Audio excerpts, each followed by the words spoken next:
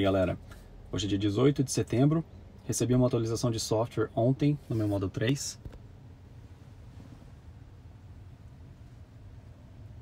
Tá aqui o Release Notes, que mostra o que foi atualizado.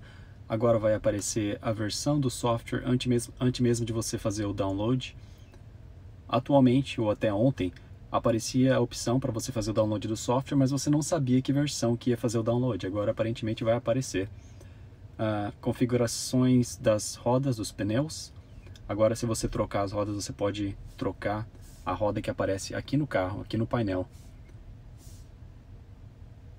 E novo suporte para no, novo idioma. Uh, Noruega. É, mais um idioma aí. Então, aqui a gente. Deixa eu só tirar da tela aqui para não aparecer o meu VIN number, número do VIN. Bom, entrei no menu de serviço. Esse botão aqui é novo, não tinha antes. Configurações, configuração dos pneus.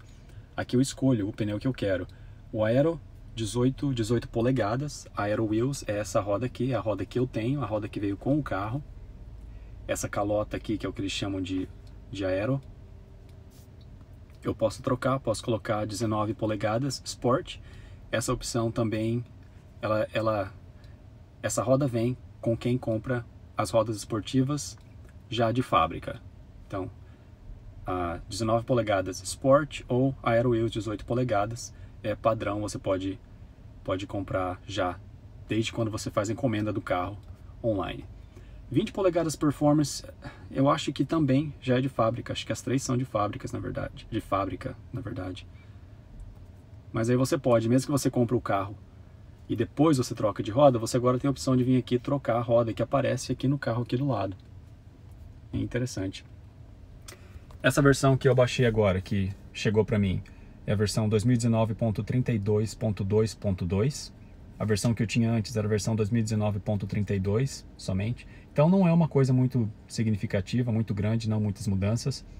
Mas a gente está esperando a versão 10 do software que vai já está, algumas pessoas já estão rodando essa versão, então vai chegar para mim, espero que nas próximas uma, duas semanas.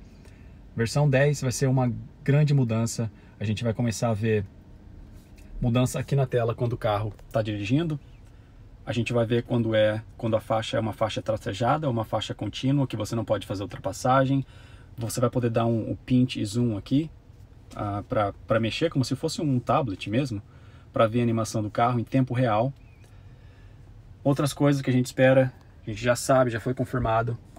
YouTube não vai ser suporte no browser, no navegador.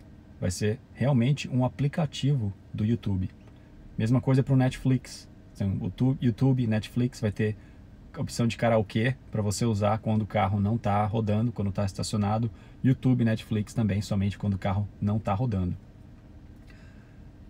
Uh, Muitas coisas, muitas coisas vindo na versão 10. Assim que eu receber, eu vou mostrar para vocês. Ah, isso aí, gente. Abraço. Tchau.